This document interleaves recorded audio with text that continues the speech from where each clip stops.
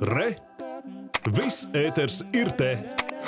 Šo sestdienu Rīgā stadiona Daugava pieskandinās līdz šim nebijuši mēroga un satura koncerts, kas uz vienas skatuves pulcēs te uz simts Latvijas labākos mūziķus. Latvijas mūzikas lielkoncerts veidots kā īpašs veltījums maestro Raimonda Paula Daļradei. Par gaidāmo koncertu šobrīd uz sarunu attālināt mums pievienojas lielkoncerta radošais direktors Arsta Rulsmirus. Labrīt! Labrīt!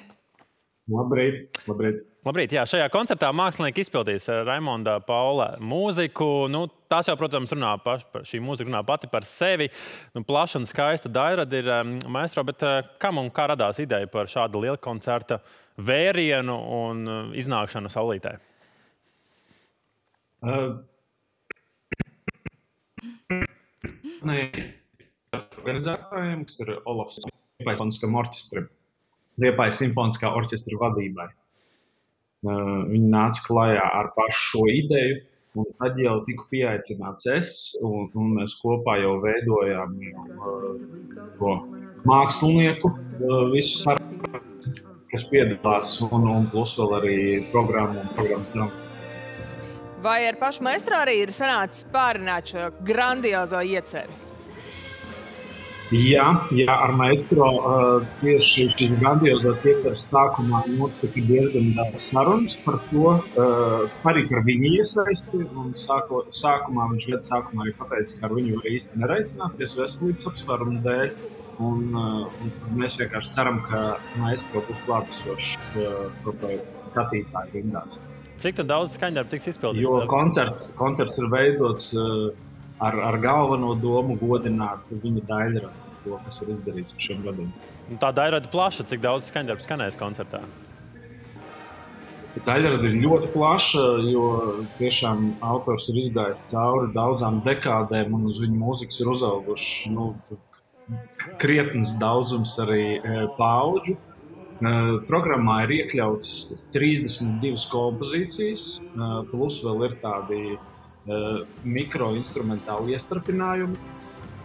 Un, eh, un šo 32 kompozīciju laikā sanāk, eh, ka mēs fokusējāmies galvenokārt jau vismaz 60%, mazliet vairāk ir klasiskā skanējumā, tā kā klausītāji, kas ilgus gadus klausījušies šo mūziku, ir pieraduši to dzirdēt. Un, un lai, lai tas viņiem atsauc patīkamas atmiņas arī par to laiku, kad tās dziesmas pirmo reizi bija parādījušās Un tad ir kaut kādi 30, 40%, kur mēs esam ieviesuši dažne, dažādus eksperimentus un mēģinājuši to, to, to pasniegt tādā neraksturīgā skanējumā. Nu, ko, tātad secinām būs gan uh, viss vecais labais zelta fonds, gan arī tādas jaunas uh, vēsmas meklējot šos te jaunos risinājumus. Varbūt pavisam īsi mēs jau minējām. Apmēram simts, te uz simts Latvijas labākie mūziķi pulcēsies uz šo koncertu. Mēs nevaram šobrīd visus nosaukt, bet varbūt varat iezīmēt tomēr. Ko mēs redzam? Mēs, mēs, varam, mēs, varam, mēs nevaram nosaukt katru, katru vārdu, jo, jo tur ir daži lieli sastāvi. Tas pamats sastāvs, kas ir uz skatuves, visu laiku ir uh, Liepājas simfoniskais orķestris uh, Jāņa Ivuškāna vadībā. Tad ir abonementu orķestra, kas ir Kārļa Lāča grupa, uh, kolektīvs uh, ritma grupa. Tad ir uh, Gigi Choir, kas ir gospelkoris, 20 cilvēku sastāvs. Un tad ir vesels lērums ar māksliniekiem, ar solistiem un grupām, kas nāk uh, visu koncertu garumā pa vienam.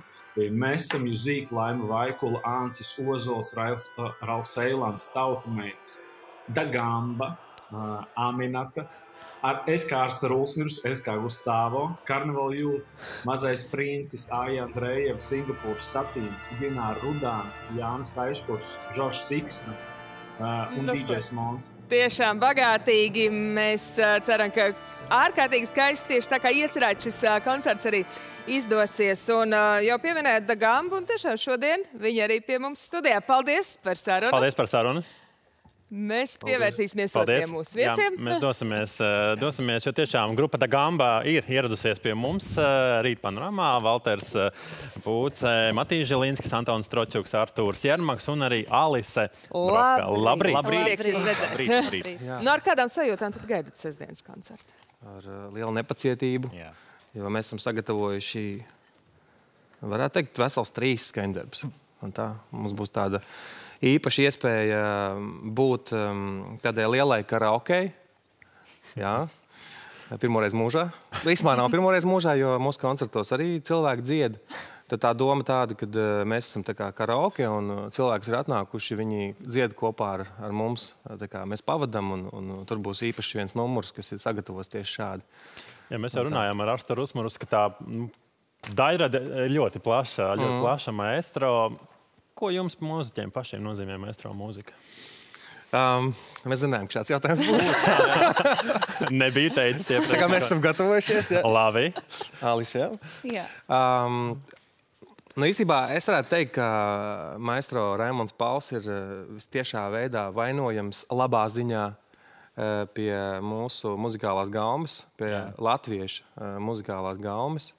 Un, viņš ir tā kā katrā latvietī jau, tā kā jau DNS. Iesēdies. jau Tā, tā mūzika jau ir tik dziļi jau iekšā tur, ka, ka mēs jau nevaram atdalīt sevi vairs no Raimonda Paula mūzikas. Tā kā, jā, paldies viņam par to.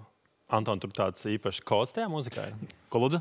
Tāds īpašs kods tajā Raimonda Paula mūzikā. Man liekas, ka jā, jo, nu, kā jau Valters minēja, mēs esam tā iesūkuši sevī to visu, ko viņš ir radījis. Tāpēc mēs arī esam ļoti pateicīgi un uh, tiešām ar nepacietību gaidām šo notikumu. Alise. Jā, nu, uh, es domāju, ka ne es viena, bet mēs daudz no mums ir uh, uzauguši ar to mūziku, vēlāk redzējuši filmas ar Raimondu Palmu mūziku, un uh, tas ir vienmēr bijis ar mums. Ko es domāju, nevis mēs daudz, bet mēs visi esam uzauguši patiesībā ar Paulu visi. mūziku.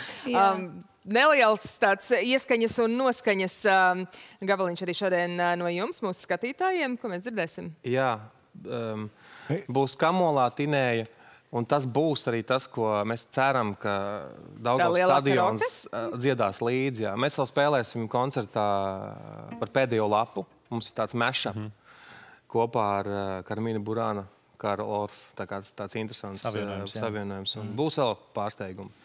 Bet kā, kā vislabāk noreklamēt lielu koncertu ir ar mazgabalu. Lūdzu. Īsgabalu. Īsdziesmu. Jo mēs nospēlēsim ļoti īsi. Jo, ja jūs gribat dzirdēt vēl, jums jānāk uz koncertu. Noteikti. Noteikti.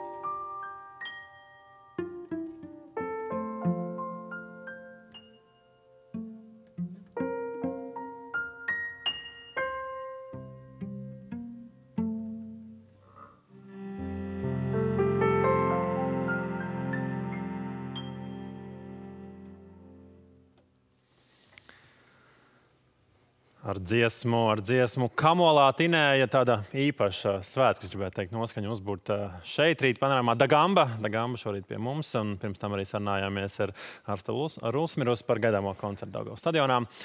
Paldies!